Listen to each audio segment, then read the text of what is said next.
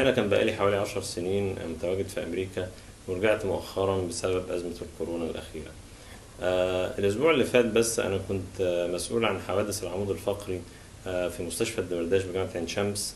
آه، وتحديدا فجر يوم 18 آه، 6 2020 جت حالة معقدة الحقيقة ومتحولة من كذا مستشفى لأن كان عندها كسور متعددة في العمود الفقري. آه، وضغط شديد على الحبل الشوكي أدى إلى آه، إصابتها بشلل نصفي وده كان نتيجة سقوطها من الدور الخامس. آه، طبعا الحالة لما جت الاستقبال اتعمل لها تحاليل وأشعات آه، أظهرت إن في اشتباه إصابتها آه، بالكورونا. آه، والحالات اللي زي دي طبعا محتاجة يعني تعاون كبير ما بين تخصصات مختلفة. أولا محتاجة عزل ومحتاجة آه، إن يبقى لها سرير رعاية ومحتاجة أيضا آه، إن إحنا آه، نحاول نحافظ على حياتها أولا ثانيا إن إحنا نحاول نعمل لها اللازم للتأهيل الطبي.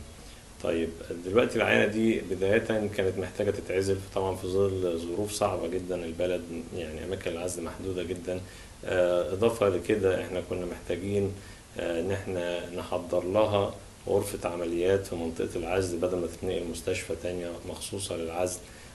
وفي نفس الوقت آه، دي آه، كانت حالة في حد ذاتها محتاجة آه، فريق متخصص في جراحة العمود الفقري آه، لأنها كانت حالة مش سهلة.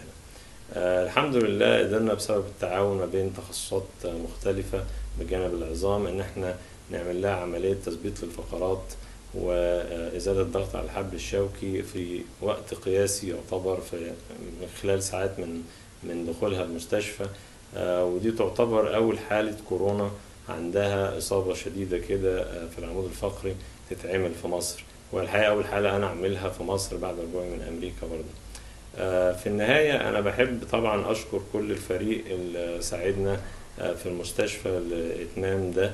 وطبعا آه، أشكر كل الأساتذة والزملاء بقسم جراحة العظام وعلى رأسهم الأستاذ دكتور عمرو خيري رئيس القسم وكذلك إدارة المستشفى اللي بتقوم بمجهود كبير جدا في الظروف الصعبة دي. أخيرا أحب أطمن الناس في مصر إن مستشفى الدمرداش قوية وفيها كل التخصصات آه، الحرجة وإن شاء الله تفضل دايما موجودة في ظل الأزمة اللي مصر فيها حتى تنتهي إن شاء الله